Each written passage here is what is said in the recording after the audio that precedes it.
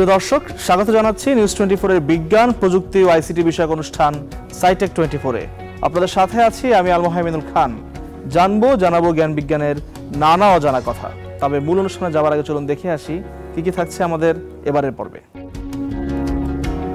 চালু হয়েছে broadband internet সেবা। সামাজিক যোগাযোগ মাধ্যম নিয়ে এখনই ভাবছে না সরকার। কীভাবে বেসামাল হয়ে পড়েছিল মাইক্রোসফট? হামলা আর অগ্নিসংযোগ থেকে রেহাই পায়নি রাষ্ট্রীয় বিজ্ঞান গবেষণাগারও। সেই সাথে জানাব ডিপফেক প্রযুক্তি সম্পর্কে।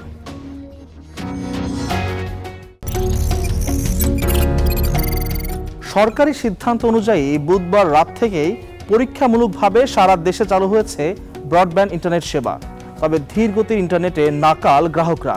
সেবাদাতারা বলছেন, দুর্বৃত্তদের দেয়া আগুনের জন্য দীর্ঘদিন বন্ধ থাকার পর চালু হওয়া ব্রডব্যান্ড সংযোগে বাড়তি চাপ থাকায় কমেছে গতি। এরই মধ্যে গুগল ক্যাশ সার্ভার চালুর জন্য নির্দেশ দিয়েছে বিটিআরসি। ফলে চলবে ইউটিউব সহ গুগলের কিছু সেবা। তবে বন্ধ থাকছে ফেসবুক, টিকটক সহ বেশ কিছু সামাজিক যোগাযোগ মাধ্যম। এদিকে মোবাইল ফোনে ইন্টারনেট চালু হতে পারে রবি বা সোমবারের দিকে।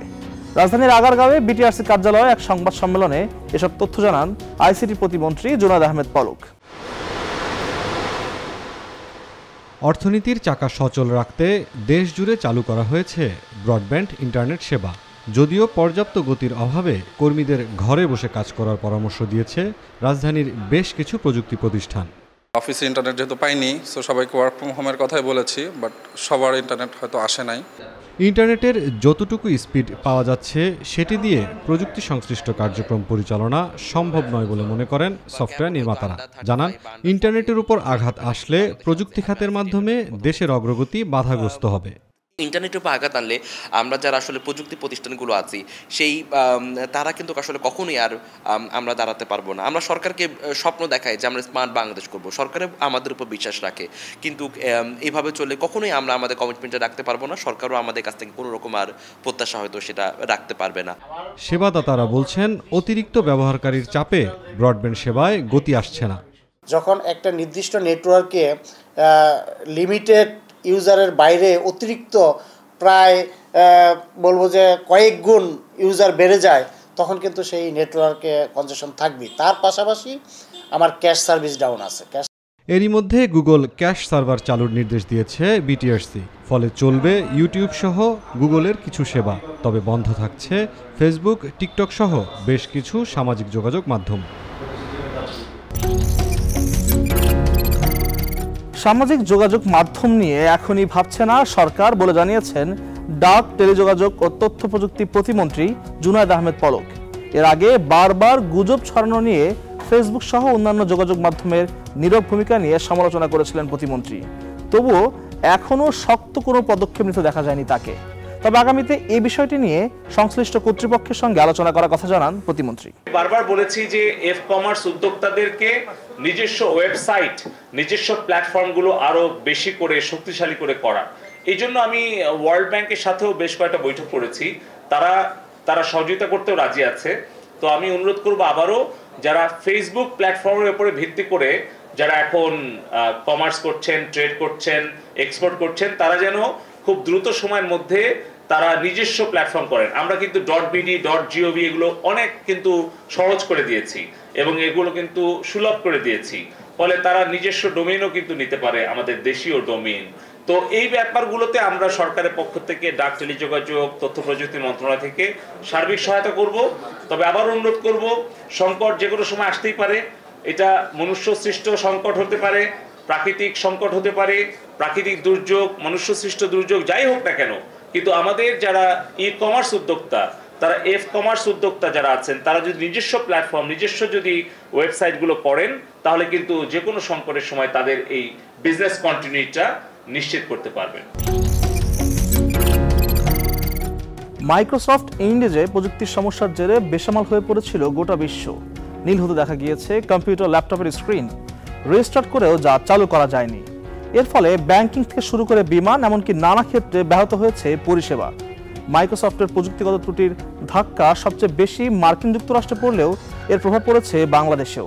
নিজেদের সাইবার সিকিউরিটি প্ল্যাটফর্ম ক্রাউড স্ট্রাইকের একটি টেকনিক্যাল গ্লিচের কারণে এই বড় ধরনের আউটেজের সম্মুখীন হয়েছিল টেক জয়ান্ট মাইক্রোসফট। অদ্ভুত এক সমস্যায় পড়েছিলেন মাইক্রোসফট উইন্ডোজ অপারেটিং সিস্টেম চালিত কম্পিউটার ব্যবহারকারীরা। তাদের কম্পিউটার খুললেই দেখা যাচ্ছিল শুধুই নীল স্ক্রিন। যদিও এই সমস্যা দ্রুতই সমাধান করে মাইক্রোসফট।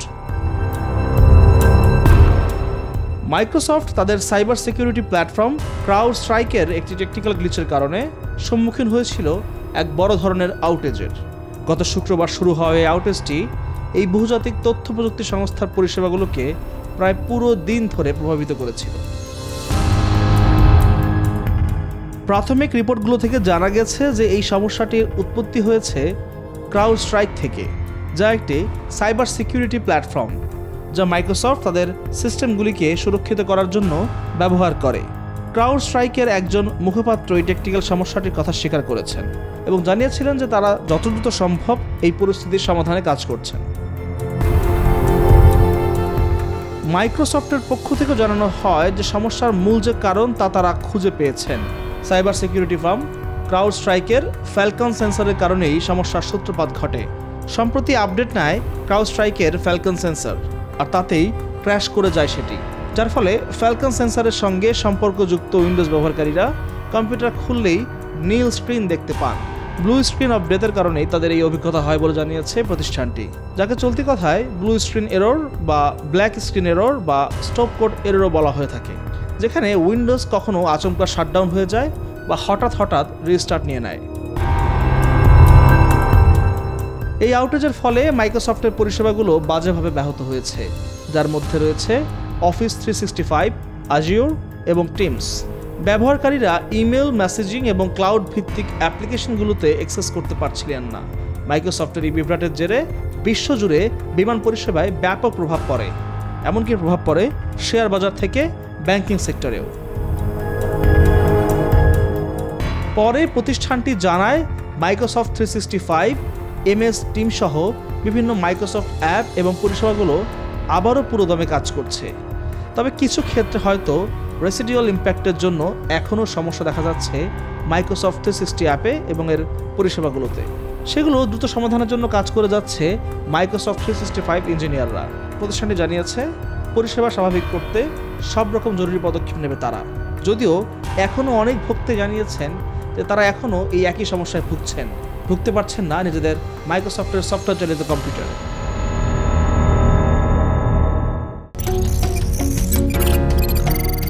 হামলা আর অগ্নিসংযোগ থেকে রেহাই পায়নি রাষ্ট্রীয় বিজ্ঞান গবেষণাগারও। গত শুক্রবার বিকেলে বাংলাদেশ বিজ্ঞান ও শিল্প গবেষণা পরিষদ বিসিএসআইআরে হামলা চালিয়ে পুড়িয়ে দেওয়া হয় আটটি যানবাহন। সব মিলিয়ে ক্ষয়ক্ষতির পরিমাণ পাঁচ কোটি টাকা। ঘটনার জন্য বিএনপি, জামায়াত ও তাদের ছাত্র সংগঠনকে দায়ী করে বিজ্ঞান ও প্রযুক্তিমন্ত্রী বলেন, এতে মানসিকভাবে বিপর্যস্ত বিজ্ঞানীরা। প্রধান ফটক ভেঙে লোহার রড, দেশীয় অস্ত্রসহ ঢুকে পড়ে দুই থেকে আড়াইশো দুষ্কৃতিকারী। এরপর নিরাপত্তা কর্মীকে মারধর করে গার্ডরুমে লুটপাট চালায় তারা। ভেতরে ঢুকে একে একে জ্বালিয়ে দেয় আটটি গাড়ি। পাশেই ছিল দুটি গবেষণাগার। কোটা আন্দোলনকে কেন্দ্র করে উনিশ জুলাই ঢাকার বিভিন্ন স্থানের মতো সায়েন্স ল্যাব এলাকা পরিণত হয় রণক্ষেত্রে। আন্দোলনের সুযোগ নিয়ে নাশকতাকারীদের হামলার শিকার হয় গবেষণায় দেশের আস্থার জায়গা বাংলাদেশ বিজ্ঞান ও শিল্প গবেষণা পরিষদ।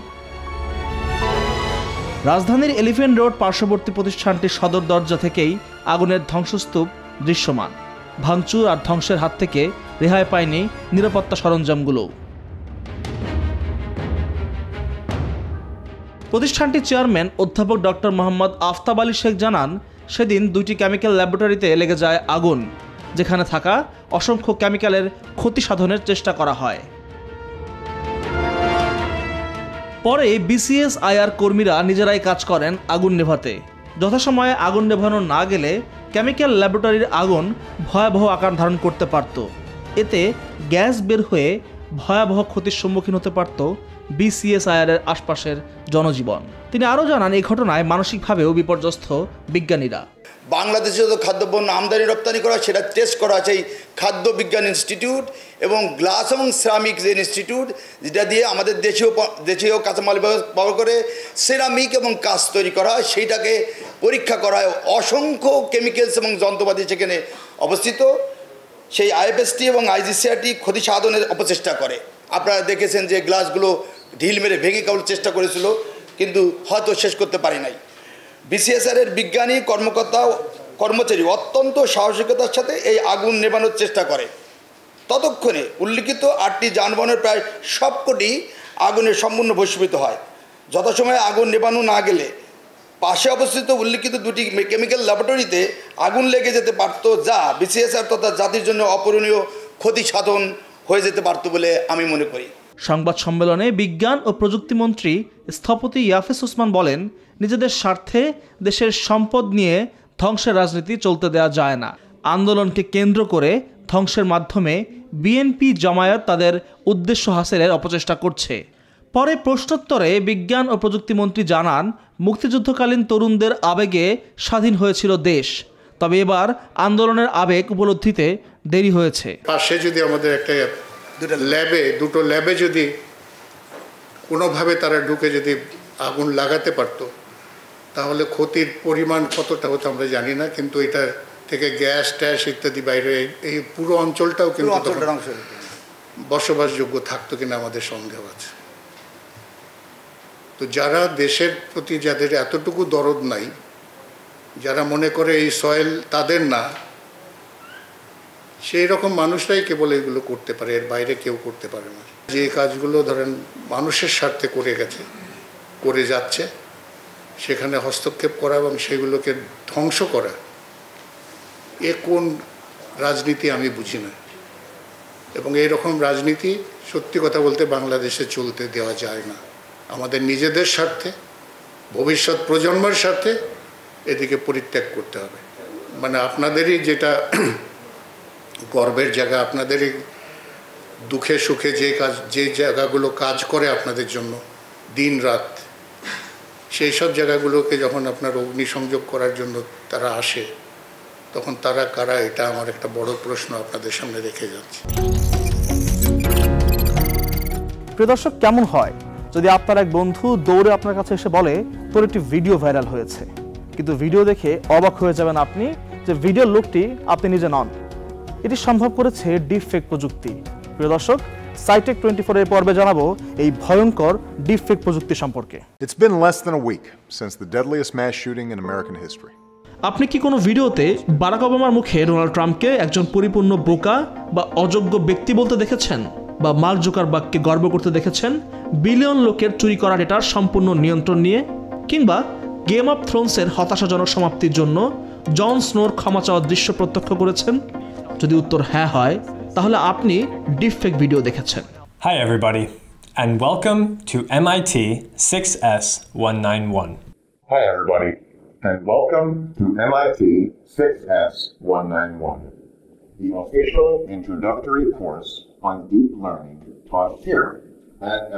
একসময় আমরা যা দেখতাম তাই বিশ্বাস করতাম।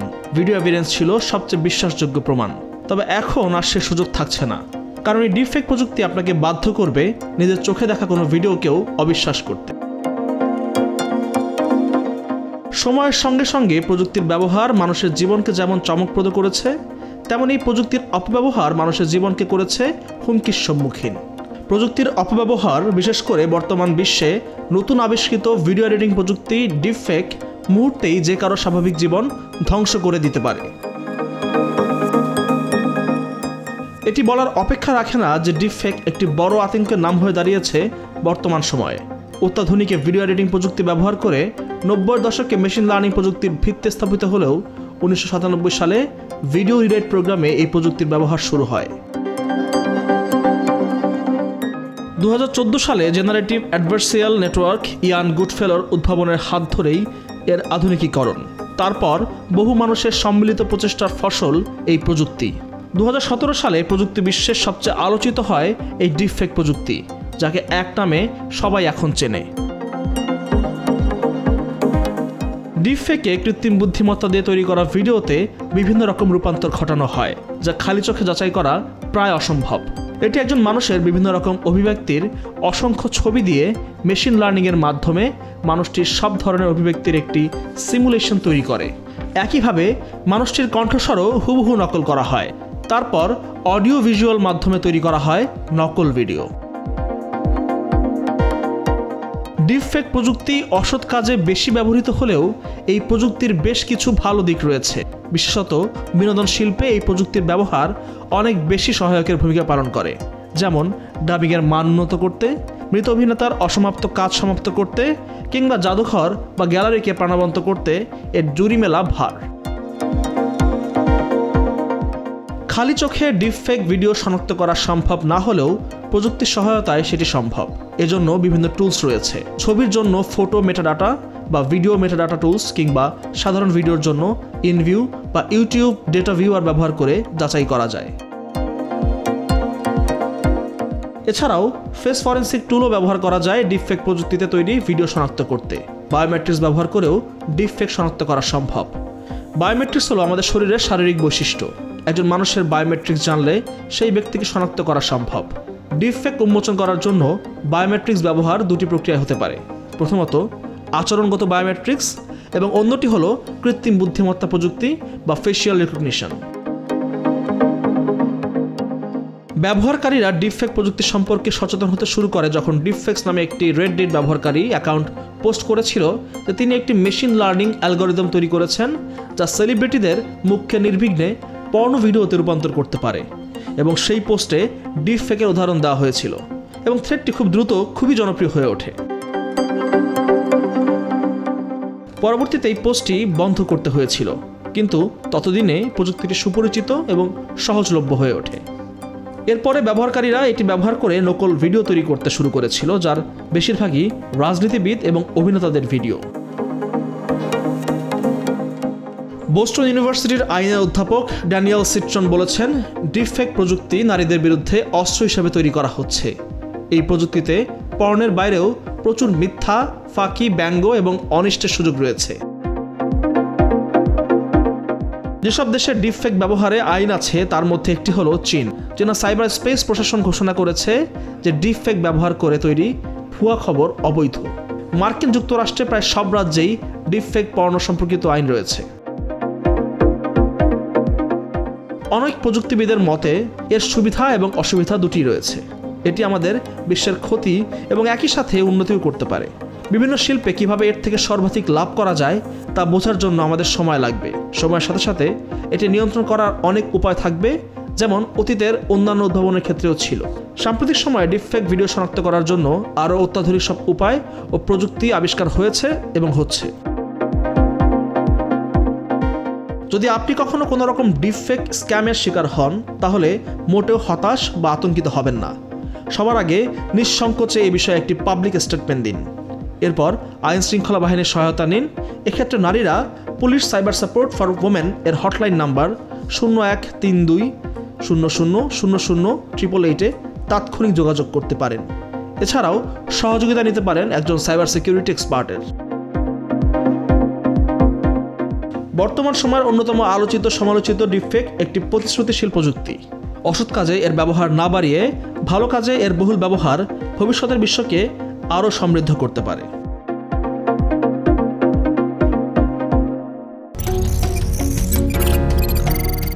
প্রিয় দর্শক, বিজ্ঞান ও প্রযুক্তি জগতে আবিষ্কার চলমান। আজ ফিরতে হচ্ছে। তবে আগামীতে ফিরবো এই জ্ঞান বিজ্ঞানের নতুন সব তথ্য নিয়ে। ততদিন পর্যন্ত সাথেই থাকুন সাইটেক টোয়েন্টি ফোরের আমাদেরকে জানাতে বা আমাদের থেকে জানাতে মেল করুন scitech twenty four dot news twenty four rate of Gmail dot এবং আমাদের অফিসিয়াল ফেসবুক পেজ ও ইউটিউব চ্যানেল সাবস্ক্রাইব করে সঙ্গে থাকুন আমাদের এবং অবশ্যই প্রযুক্তির সঠিক ব্যবহারে মনোনিবেশ করুন।